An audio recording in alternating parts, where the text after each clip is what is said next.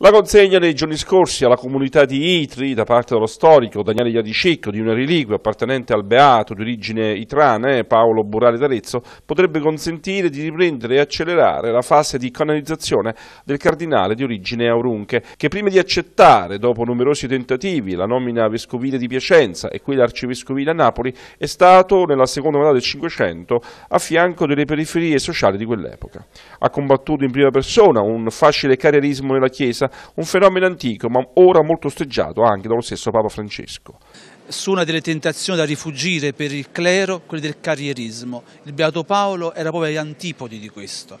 e si vedono poi i frutti, perché quando poi le cariche le accettate per obbedienza, le ha svolte per amor di Dio e quindi per amore dell'uomo. Storicamente provata è stata la fortissima devozione del cardinale Burali d'Arezzo nei confronti della Madonna della Civita. E beh, da Bonitrano non poteva non essere devoto della Madonna, quindi, e lui è anche scritto sul santuario tra i pellegrini illustri che sono saliti al Sacromonte. Il comune di Itri ora si adopererà con tutti i suoi mezzi perché il giurista di cui si fidava Papa Pio V guadagni ben presto gli onori degli altari. Questo evento come l'occasione per riaccendere i riflettori su una figura di grande spessore, ho detto sia culturale che umano, una persona adotta come lui, eh, laureata in utroque iure come si diceva una volta, cioè in diritto civile e canonico, che nel mezzo di una carriera assolutamente eccelsa forense ha pensato in realtà di mettere suoi, la sua persona a servizio dei più deboli come aveva già fatto come avvocato e poi come, con funzioni diciamo, da giudice come consigliere reggio